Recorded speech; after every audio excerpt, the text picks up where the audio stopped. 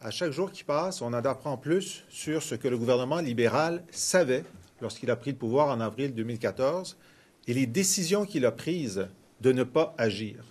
Alors ce matin, vous avez vu euh, dans la presse que une synthèse du rapport de consultation indiquait clairement et avait clairement euh, ciblé les centres jeunesse comme un lieu privilégié de recrutement pour les proxénètes. Donc, c'est une information dont le gouvernement disposait à son arrivée.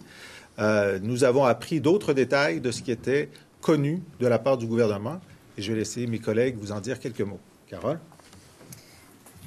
Alors, on sait euh, aujourd'hui, euh, selon des informations qui nous ont été transmises, qu'on avait identifié 800 cas de fugue à Laval, dont 68 étaient à risque élevé.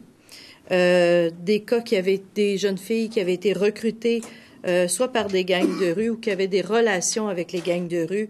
Et entre autres, euh, on note euh, le cas de la dépendance affective comme étant un des facteurs importants dans le dossier. Dans ce qu'on nous informe dans les recommandations qui avaient été identifiées, on identifie qu'il y avait le fait de mettre en place une table de concertation intersectorielle sur l'exploitation sexuelle coordonné par l'agence de santé qui devait être mis en place. Euh, aussi de, mettre en place du travail de concertation entre euh, les policiers et les intervenants sociaux.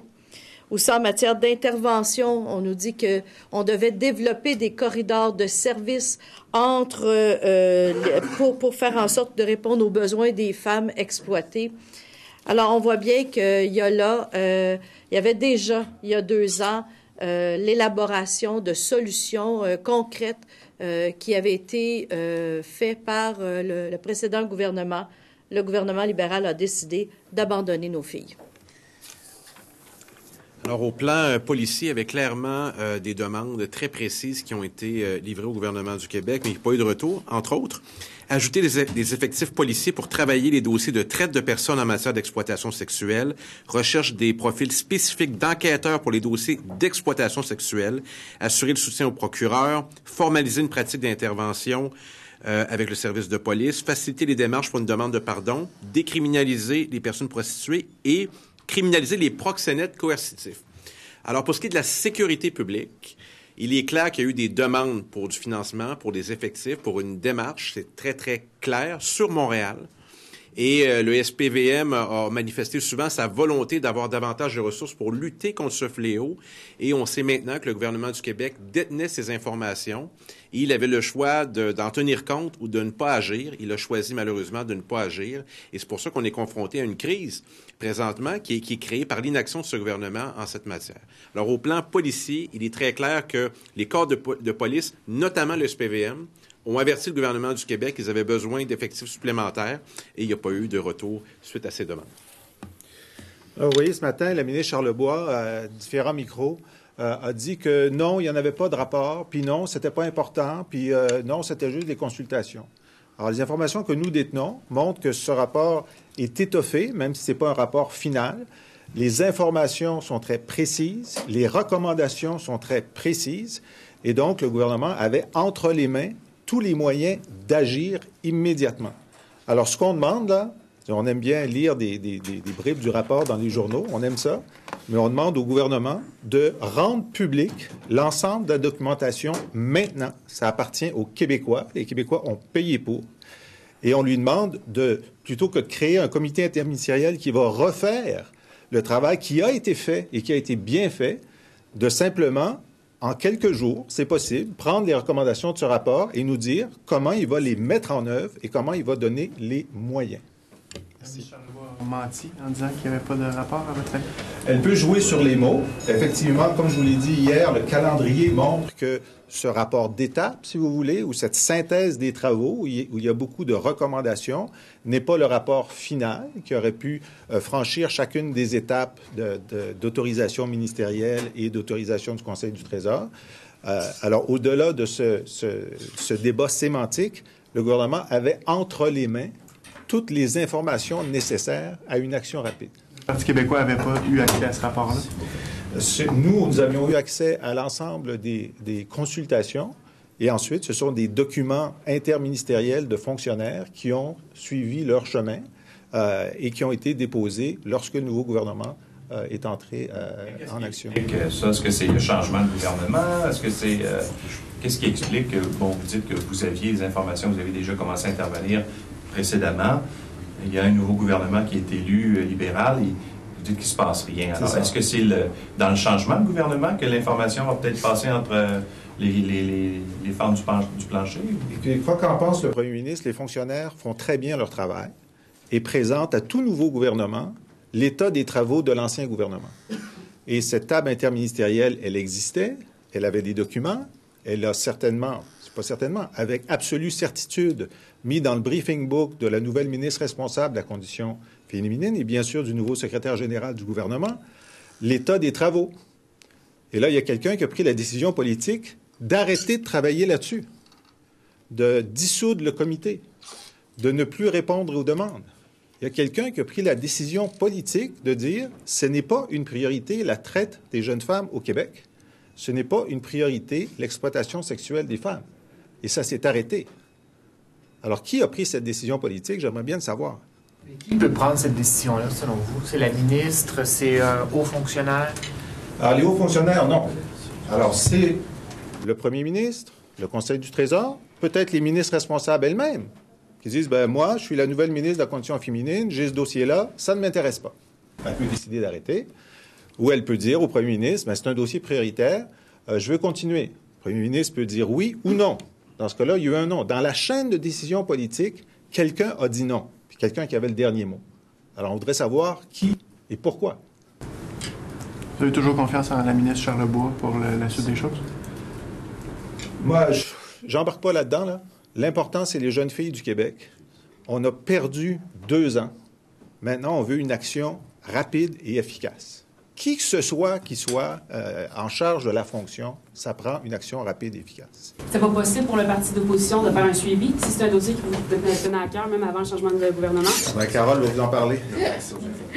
Écoutez, euh, dès qu'on est arrivé à l'opposition, euh, j'ai déposé une volonté d'avoir un mandat d'initiative à l'Assemblée nationale pour qu'on puisse justement traiter de, de la traite des femmes, entre autres, et des violences sexuelles. Nous avions adopté en décembre 2013, je vous rappellerai, une motion qui demandait le plan d'action. Et euh, alors, suite à, l'élection, j'ai tout de suite déposé une demande de mandat d'initiative qui a été refusée par le gouvernement. Et ils sont revenus avec euh, une, formule édulcorée d'un mandat d'initiative pour lequel qui s'est traduit finalement par trois forums. Le dernier forum s'est tenu en septembre 2015 euh, et pour lequel nous n'avons encore pas de rapport de ces consultations-là. Alors, euh, le dossier s'étire de plus en plus et la ministre de la Condition féminine euh, n'est pas dans, euh, dans l'action, on est seulement dans la consultation. Encore une fois. Consultation qui avait déjà été faite au préalable. M. Berlouis, sur un autre sujet concernant les problèmes du MF Gauthier, oh, pardon. Le, gouvernement libéral a annoncé que Ghislain Bolduc allait être mandaté comme ingénieur chimiste et expert des soudures pour inspecter le bateau. Est-ce que ça vous rassure? Les, euh, les, inquiétudes manifestées par les usagers du FA Gauthier, de part et d'autre du Saint-Laurent, ainsi que par moi, ont manifestement permis d'obtenir l'attention du ministre. C'était pas prématuré. C'est un navire qui a été payé par des fonds publics, 140 millions, qui a plusieurs problèmes euh, techniques et quant à, l'expérience de traversée. Ça nous coûte 100 000 dollars par semaine supplémentaire pour utiliser du diesel parce qu'il n'y a pas le, système de gaz naturel liquéfié. C'est un bateau qui a été construit en Italie. Je tiens à le rappeler. En 2011, on l'a commandé, euh, le gouvernement libéral l'a commandé en Italie. Donc, il y a beaucoup de réponses à offrir. Dimanche dernier, on a offert aux passagers de Bécomo et de Matane de prendre un, autobus pour 9 heures de route entre les deux destinations en passant par Québec. Alors, il n'était pas prématuré qu'on nous écoute. Hier, le président de la Société des traversées du Québec euh, a été euh, envoyé dans les médias pour discréditer les usagers qui posaient des questions. Mais là, c'est une rebuffade. Et je suis heureux que le ministre nous ait entendus parce que ce qu'on défend essentiellement, c'est l'accès à un service essentiel entre la rive sud et la rive nord. Et je pense qu'on euh, doit s'assurer de surveiller ça de près parce que la garantie se termine en avril 2016. Alors, qui va payer les coûts au-delà de ça? Je me pose la question, puis je termine en disant qu'on nous avait offert que le Camille Marcoux qui est le navire qui a rendu service pendant 40 ans, devait être à proximité lorsqu'on en avait besoin, comme dimanche dernier. Ben, je le vois très facilement d'où j'habite à Québec, mais je le vois pas quand je suis à Matane, parce qu'il est accosté au port de Québec. Alors, quant à la Société des traversiers et les affaires maritimes, Là, j'apprends que c'est M. Daou qui s'en occupe, finalement, que c'est pas M. Damour. Euh, je suis heureux qu'on a finalement décidé d'entendre et de, de, porter une action en faveur des usagers. Et sauf, non sauf votre respect, M. Bérubé, la question portait sur le fait que M. Euh, Daou demande à M. Bolduc d'aller faire une inspection du bateau. M. Bolduc est ingénieur chimiste. Alors, c'est lui, c'est lui qui va aller faire l'inspection du bateau pour voir dans quel état il est. Est-ce que ça vous rassure? Bon, je ne connais pas les compétences de, de, de M. Bolduc, mais chose certaine, ce qui est important pour moi, je suis pas un spécialiste là, de... Euh, je ne suis, pas un armateur ni un, mécanicien naval, mais chose certaine, il faut s'assurer qu'on ait un, un, service qui est offert, un service qui est, qui est correct, agréable. Quant aux moyens qui sont utilisés, on verra au résultat, mais euh, chimiste, J'avoue que c'est. C'est pas inusité, c'est pas inusité que ce soit un député qui soit mandaté euh, pour aller faire ce genre d'inspection-là, que ce soit pas des fonctionnaires. OK, excusez-moi, je ne connaissais pas M. Doris. Des députés de Mégantic. Gislain Bolduc, député de Mégantic, qui est ingénieur chimique de, de, profession, va aller faire une expertise ah, ben non, sur le traversier. Bon, je viens de comprendre. J'oubliais qui était Justin Bolduc, excusez-moi, c'est mon erreur. Euh, que ce soit un député chargé, donc il va, il va, il va faire la traverse, puis il va, il va faire un rapport avec son calepin. Non. Aller sur le bateau, sur le bateau, à la demande du ministre des Transports, Jacques Daou, pour faire une inspection, puis rendre compte de cette inspection-là aux membres du caucus libéral. Parce que les fonctionnaires, selon lui, ne sont pas habilités à expliquer la chose clairement aux, euh, aux élus, aux membres du gouvernement. Je sais pas la... Juste les, les, élus libéraux je, je, je, connais pas l'expertise de M. Bottuc. Je sais qu'il y a des, sur le lac Mégantic, pour avoir emprunté là, euh, un, petit, un petit ponton lorsque j'étais ministre du Tourisme, il y a de la navigation, mais certainement pas, certainement pas la, la voie maritime du Saint-Laurent qui sera en lac Mégantic. Donc, euh, ça m'apparaît assez inusité et je pense que c'est pas la bonne personne pour faire ça, évidemment. Ça parle de quelqu'un d'indépendant. Mais j'avoue que je. Okay, vous m'étonnez, là, j'avais pas, j'avais pas compris ça comme ça. Okay, so Mr. Lise, why didn't the PQ use the information that you already had, or some of the information that you had uh, collected, uh, to do something about these runaways? Well, that's exactly what we were about to do. I mean, we, uh, we started the process. Uh, we created the interdepartmental group. Uh, we gathered the information our minister in charge, Véronique Yvon, uh, went through all the youth centers in Quebec, and uh, we had a, a, a, calendar of things to do that would uh, have uh, been uh, crowned in December 2014 with uh, the implementation of a number of these recommendations. And so something happened on the way to action. It was the election of the Liberal government and in April 2014, someone took the political decision in the Liberal government to stop this work and to disband the committee, not to fund it.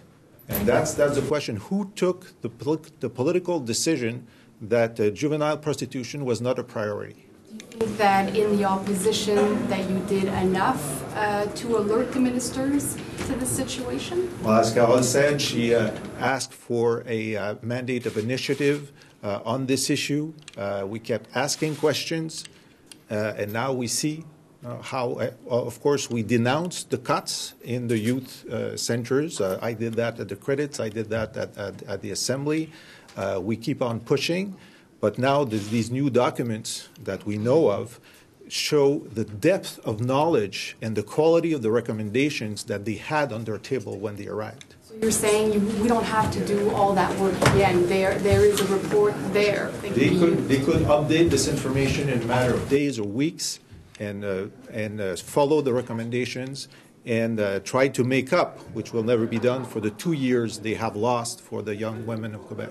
Independent overseer in Laval is a waste of time and a waste of money? It's not a waste of time and money. I mean, it's good that, to see if there's a specific problem in Laval, but as Carol said, the, uh, the, the report showed back in April 2014 that there were 800 runaways in the Laval area the year before, 68 of which were of a very dangerous nature. So it's two years ago that work should have been done. Mr. Lisée, uh, Madame Charlebois suggested in an interview this morning that now you're playing politics on the backs of these young girls and their parents. What do you say to that? I say that the wrong decision to make is not to act when you know and you have the means. And so someone played politics back in 2014 with the, with the lives of these young women. And it's the political decisions that she made or somebody else made not to pursue the important work that had been started by everyone involved to come up in 2014 with a comprehensive plan to protect our young women. That's the big problem. Now we're trying to show first we're doing our opposition work to ask the government what did they do? Why didn't they do anything when they knew they should have done things? That's our work. And second, not to lose more time they're saying that they're going to start over this process. This has been done. Let's not waste more time. Let's refund what they cut, and let's simply update these informations, uh, uh, make public these informations, and act as, as quick as possible. How can you explain why this is all uh, coming to light now? Why, if this has been a problem for so long, we're just starting to hear about these series of girls running away from this particular youth home? Because, because mothers started to speak out. Basically, that's what happened. In the last few weeks, mothers went to the media and said, My daughter is a runaway. I'm scared for my daughter. Do something. That's the change. And that means that the level of concern of mothers in Quebec and fathers in Quebec is higher than it was before. And thank God they did that because it focuses attention on the issue and we can ask for action. Uh, there's also been a charge that $20 million was cut from this particular uh, group home, and at the same time, uh, the union says that the clientele was increased by 16%. Uh, is that part of the problem that they're cutting, bu- budget cuts are causing um, group homes to be less capable of dealing with this? It's certainly the case. Oh, this morning, again, uh, there's a mother that says, uh, of a runaway. I can't say anything against the, uh, the, the, the, professionals at the youth center. They're doing as much as they can, but they're outnumbered and they're tired, and some of them are not trained properly. So it's a question of means. One of the first gestures of this, this, liberal government was to cut $20 million a year in the youth centers. And the original directors of the youth centers came out, well, usually they're silent, they came out to say that they were very concerned of their ability to correctly uh, master their task given these cuts. So we've been asking for two years to uh, come back on these cuts, refund the youth centers. It's still time to refund the youth centers. Merci beaucoup. Merci.